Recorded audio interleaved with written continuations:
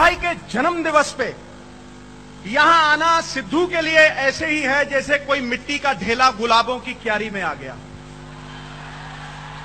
जैसे कोई तिनका बहता बहता नर्मदा माई में किसी शिवलिंग के ऊपर टिक जाए वैसा सिद्धू आज नरेंद्र भाई के जन्मदिन पे यहाँ आके महसूस कर रहा है मेरे भाई। जैसे नर्मदा माई में बहता हुआ कोई तिनका किसी शिवलिंग के ऊपर टिक जाए तो क्या महसूस करेगा वैसे ये सिद्धू?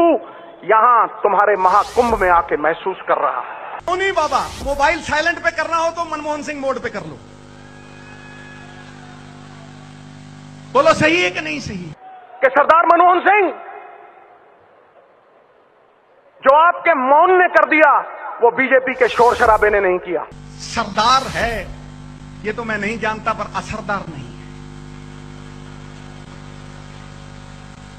आप सरदार भी हैं और असरदार भी हैं। मेरी एक ही लालसा है कि मरने से पहले लाल किले के ऊपर झंडा भारत का भारतीय जनता पार्टी वाले फहराते फिरे अपने पूर्वजों का आशीर्वाद अपने सर पे लेके कहता हूँ कि जब तक मेरी थमड़ियों में लहू है राहुल भाई को लाल किला पे झंडा चढ़वाए बिना नहीं मानेगा मैं। करते हैं आज़ादी की शाम नहीं होने देंगे।